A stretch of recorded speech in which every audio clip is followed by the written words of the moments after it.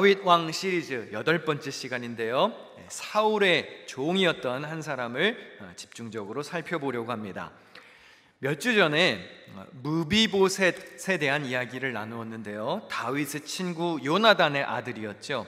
이 무비보셋에 대한 이야기를 다룰 때 사울의 종을 언급했습니다. 혹시 이름이 기억나시는지 모르겠어요. 사무엘하 9장 2절을 같이 읽어 보실까요? 시작.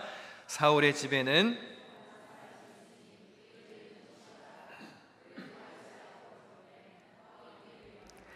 네가 시바냐 하니 이르되 당신의 종이다 하니라. 예, 무비보셋이라는 사람의 존재를 알렸던 사울의 종 시바. 시바는 식물이라는 뜻입니다.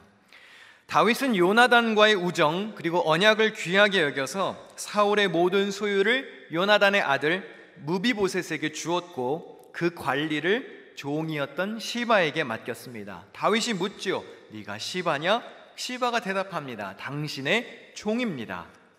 시바는 종입니다. 종에 해당하는 단어를 원문으로 보니까 히브리어 단어 아바드에서 온 단어인데요.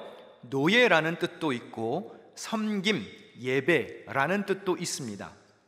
원래는 그가 사울의 종이었지만 이제는 다윗의 종이라고 고백합니다. 종은 주인에게 충성해야 하지요. 그것이 종의 자세입니다. 다윗이 시바에게 무비보셋의 땅을 관리해 주라고 명령하자 그가 이렇게 답했습니다. 사무엘하 9장 11절에 시바가 왕께 아뢰되 내 주 왕께서 모든 일을 종에게 명령하신 대로 종이 준행하겠나이다. 시바는 무비보셋을 철저히 돕고 섬겨야 하는 종입니다. 사울의 유업의 상속자가 무비보셋임을 다윗 왕이 분명히 했습니다. 그리고 그의 역할도 분명하게 알려주었습니다. 무비보셋의 땅을 대신 네가 갈아주고 소산물도 가져와서 네 주인의 식량을 대라고 그랬어요. 하지만 철저히 종으로 규정된 시바의 배경을 보면 그가 진짜 종이었는지 좀 의심스러운 부분이 있습니다. 사무엘하 9장 10절에 보니까 시바는 아들이 15명이요 종이 20명이라고 했습니다. 스스로 종이라고 하는 자가 자기 밑으로 또 20명의 종이 있었습니다. 사실 사울이 죽고 나서 사울의 후손들이 모두 죽거나 뿔뿔이 흩어졌죠. 생사를 알 수도 없는 마당에 종이었던 시바가 이렇게 사는 게 가능했을까요? 사울의 손자 무비보셋은 도망치다가 하반신 장애인이 되었는데 사울의 종이었던 시바는 부를 축적하며 살고 있습니다. 종보다는 뭐 마을 유지에 가까운 삶을 살고 있습니다. 그런 시바에게 다윗은 선을 분명하게 그었습니다. 무비보셋을 섬기고 다윗에게 충성하라. 그도 반복하여 본인이 종이라고 말했고 명령에 따르겠다고 대답했습니다. 그러니까 표현이 좀 그렇지만 시바는 자기 이름의 뜻대로 그냥 식물 같은 존재로 살면 되는 거예요. 그의 이름 뜻 자체가 식물입니다. 나의 의지를 접고 주인의 명령을 따르는 종으로 살면 되는 겁니다. 오늘 본문은 다윗이 아들 압살롬의 반란으로 예루살렘에서 도망치는 장면이 기록되어 있습니다. 본문 1절을 세 번역으로 다 함께 읽어 보실까요? 시작. 다윗이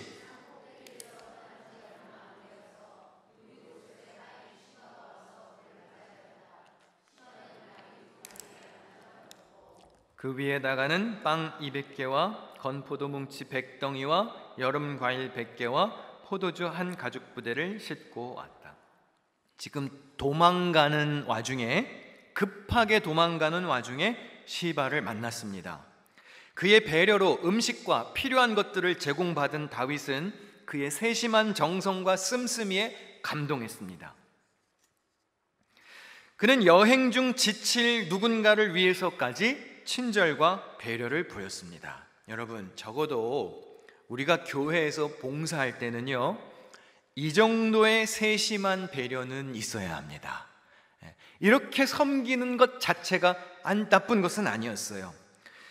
예전에 청년부나 중고등부를 담당했을 때 이제 여름 수련회를 갈 때가 되면 저는 주로 이제 외부에서 이제 버스를 대여를 했습니다.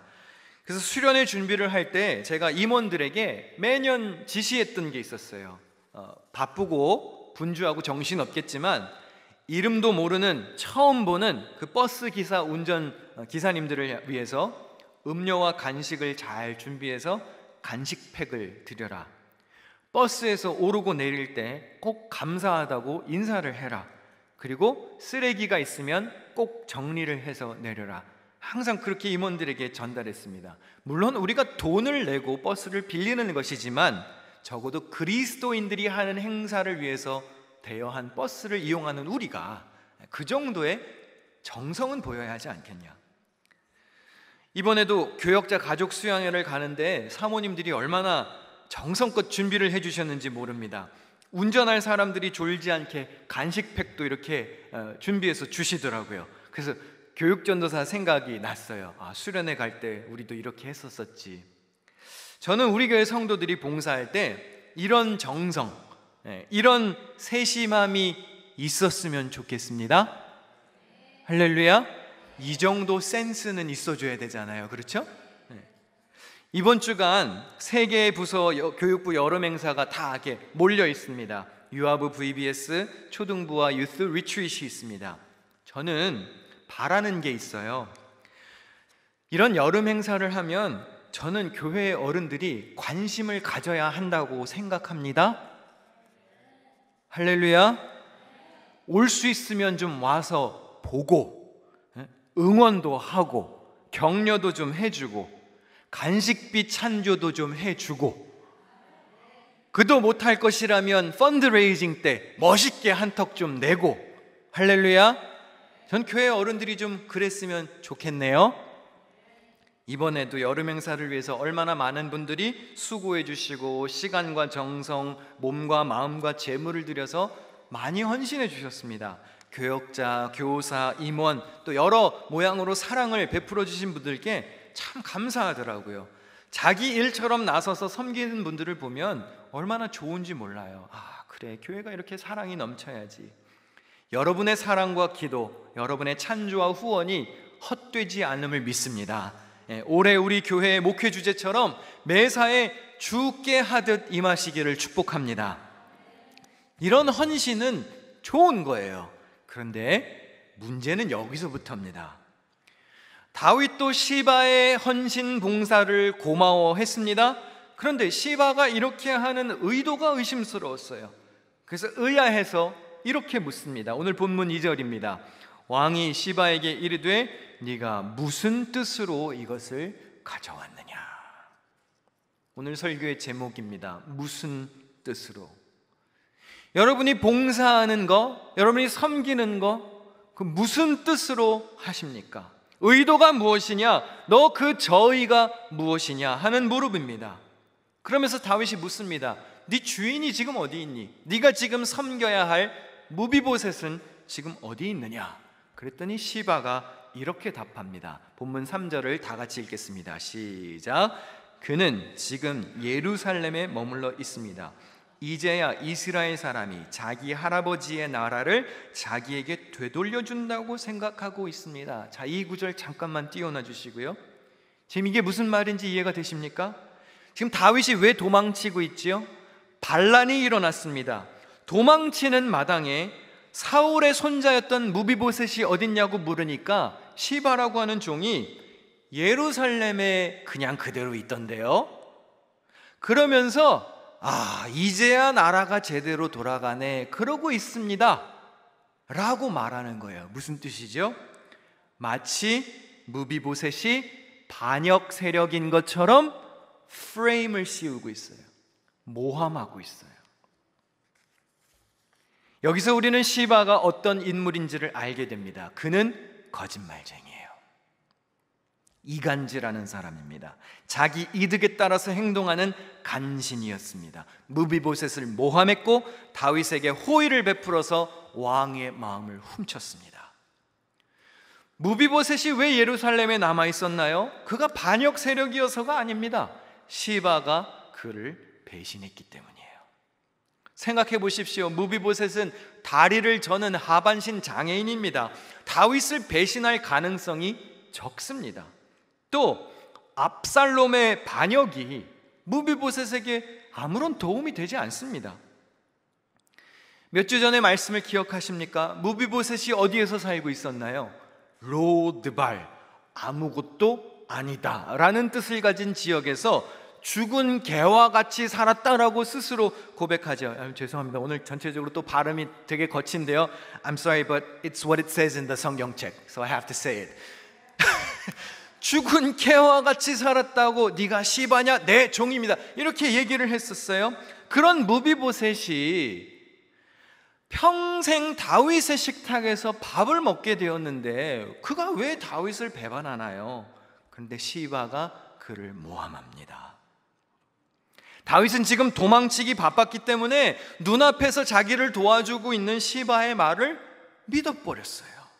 그리고 시바에게 이렇게 말합니다. 사무엘하 16장 4절에 무비보셋의 재산을 네가 모두 가져라. 시바가 대답하였다. 임금님의 은혜에 감사드립니다. 언제나 임금님의 은총을 입는 몸이 되기를 바랍니다. 개혁 개정 성경에 보니까 임금이여 내 왕께 은혜 입기를 원하나이다 그랬어요. 아유 말은 얼마나 좋게 들려요. 자칫 잘못하면 아멘 할 뻔할 구절이지요. 왕께 은혜를 입기를 원하나이다. 좋게 들리지만 사실은 검은 속이 있는 거죠. 다윗이 무슨 뜻으로 그렇게 잘해주는지는 모르지만 시바의 속마음을 검증할 길이 없어요. 지금 도망치기 바쁜데 위급할 때 도와준 시바의 말을 믿어버렸고 무비보셋의 땅을 전부 시바에게 넘겨버렸습니다. 여러분 잘 기억하십시오. 여러분 주변에서 누군가가 이유 없이 갑자기 잘해주잖아요. 그 사람 조심해야 돼요. 특별히 잘해주면서 누군가를 험담한다? 그거는 검증을 좀 해봐야 돼요. 저에게도 갑자기 와서 잘해주지 마세요. 그럼 제가 속으로 시바인가? 갑자기 잘해주지 마세요. 그냥 평상시에 잘해주세요. 아, 아무도 아멘을 안 하시네. 늘 잘해주세요. 할렐루야. 늘 잘해주던 사람이 내일 또 잘해주면 어때요? 원래 잘해주던 사람인데. 근데 평상시 가만 계시다가 갑자기 잘해주면서 누군가 험담한다? 그 틀림없이 의심해 봐야 돼요. 시바일 가능성이 높아요. 아우, 발음도, 발음도 이상해. 아우, 시바.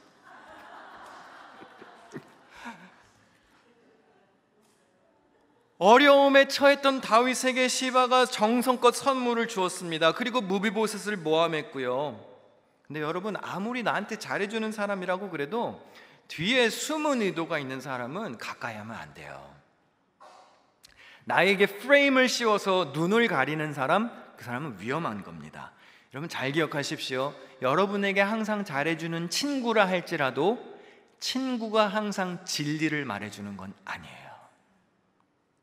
시바는 그렇게 다윗과 무비보셋 사이를 이간질했습니다. 이것은 하나님이 싫어하시는 일입니다. 잠언 6장 16절에 보면 여호와께서 미워하시는 것 곧 그의 마음에 싫어하시는 것이 예닐곱 가지니 곧 교만한 눈과 거짓된 혀와 무죄한 자의 피를 흘리는 손과 악한 계교를 꾀하는 마음과 빨리 악으로 달려가는 발과 거짓을 말하는 망령된 증인과 및 형제 사이를 이간하는 자이니라. 이건 하나님이 원하시는 게 아니에요.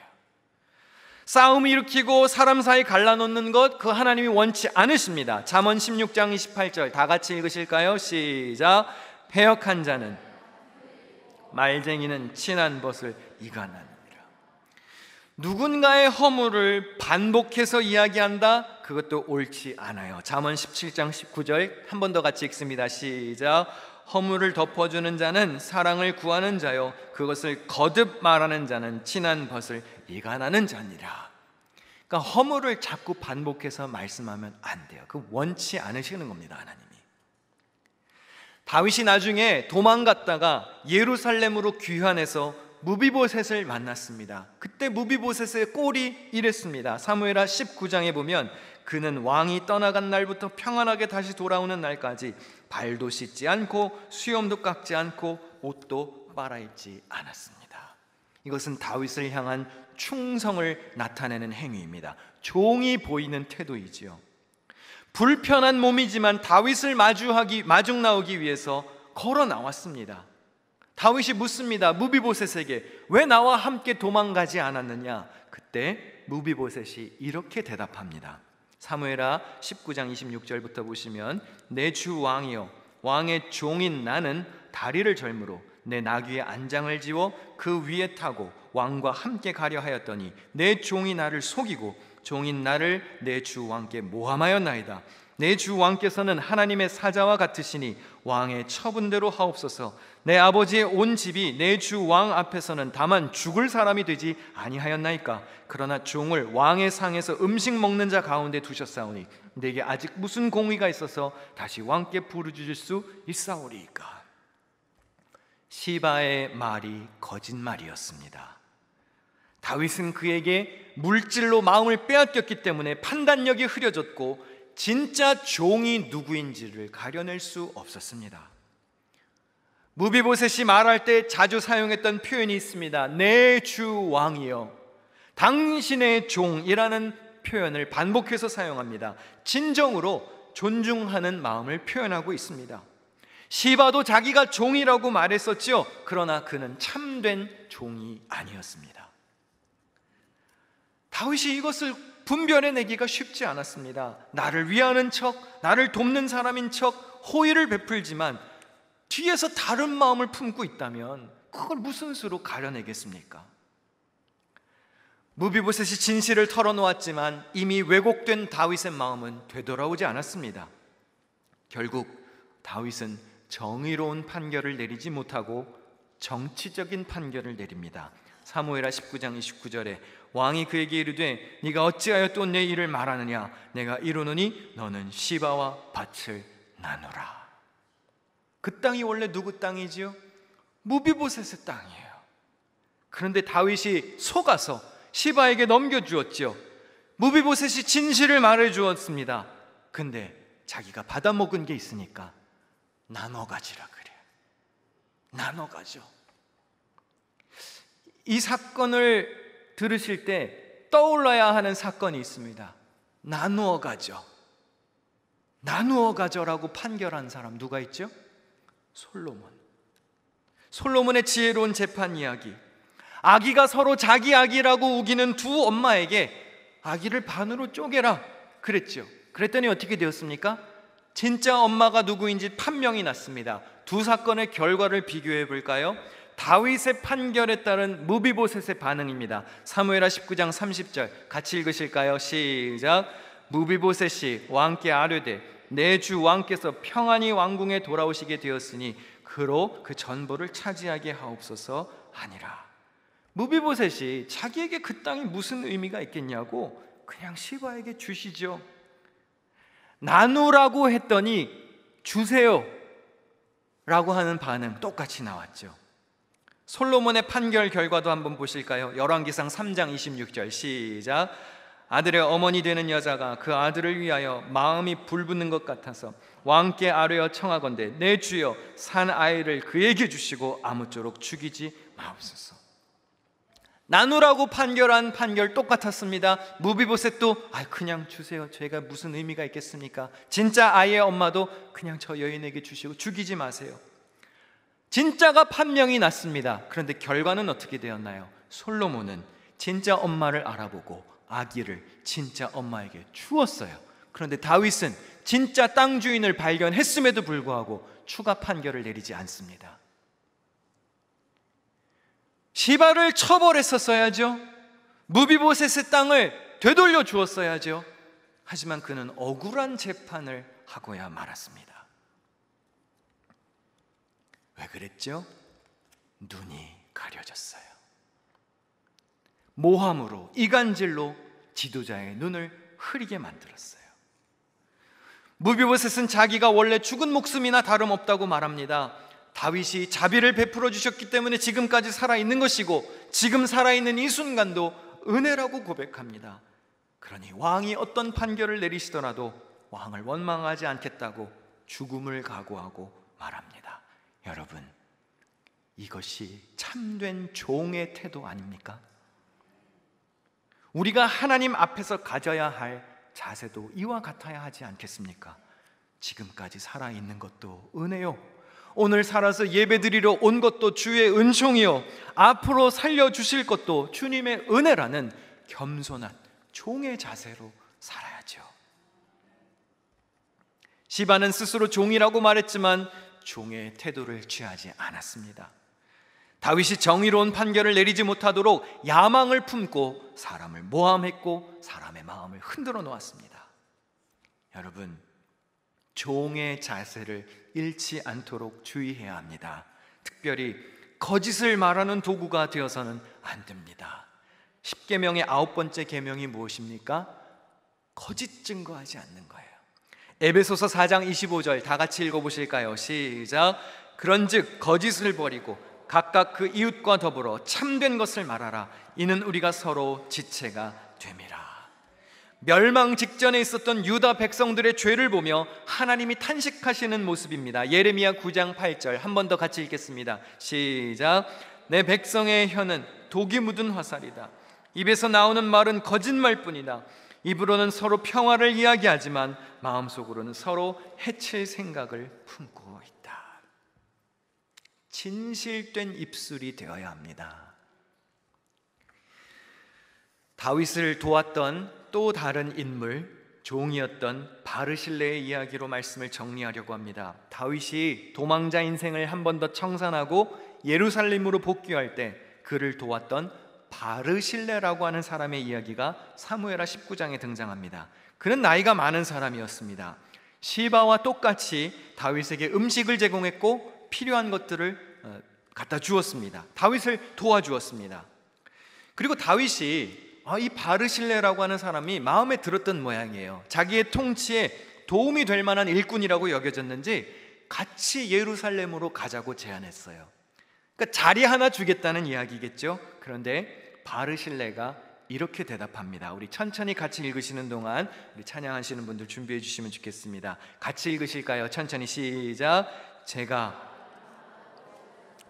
임금님과 함께 예루살렘으로 올라가겠습니까? 제가 이 나이에 잘 알아듣기나 하겠습니까? 그러니 이 종이 높으신 임금님께 다시 짐이 되어서야 되겠습니까? 이 종은 임금님을 모시고 요단강을 건너려는 것뿐인데 어찌하여 임금님께서는 이러한 상을 저에게 베푸시려고 하십니까? 부디 이 종을 돌아가게 하셔서 고향 마을에 있는 제 아버지와 어머니의 무덤 곁에서 죽게 하여 주시기를 바랍니다. 바르실레도 자기를 뭐라고 표현하죠? 종. 이 종을. 그는 삐뚤어진 사람이 아니었어요. 권력을 탐하지도 않았고 이름도 없이 빛도 없이 조용히 섬기기를 원했던 사람입니다. 이게 종이지요.